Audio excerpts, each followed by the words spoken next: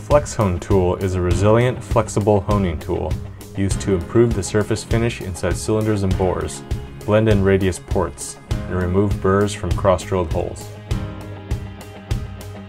The tool can be mounted in CNC equipment by means of a Jacobs-type chuck directly on the stem wire. The flex hone is also commonly used in lathes, mills, drill presses, and hand drills.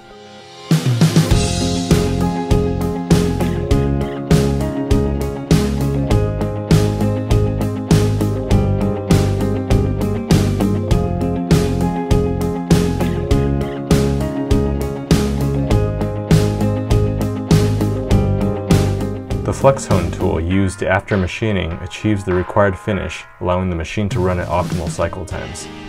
The flex hone tool follows the existing bore geometry and will not affect size, ovality, or concentricity. The flex hone is primarily a finishing and deburring tool and not a precision metal removal tool.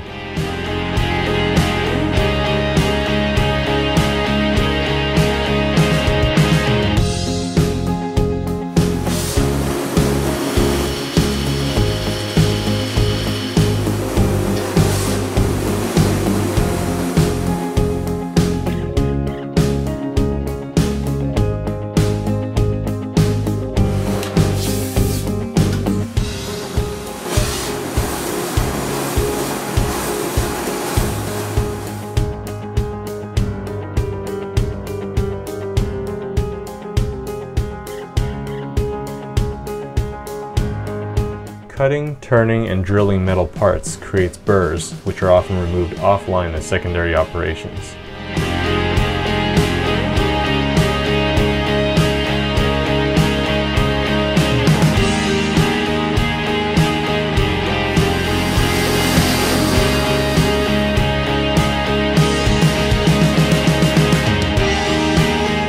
Utilizing the flex hone in the machine tool removes the burrs efficiently and uniformly.